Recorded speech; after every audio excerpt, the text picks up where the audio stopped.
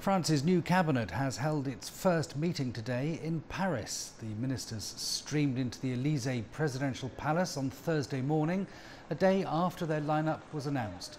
Macron named a mix of prominent and unknown figures from the left and the right on Wednesday to make up the government tasked with pushing through his plans to reduce labour protections, tighten European unity and boost military spending.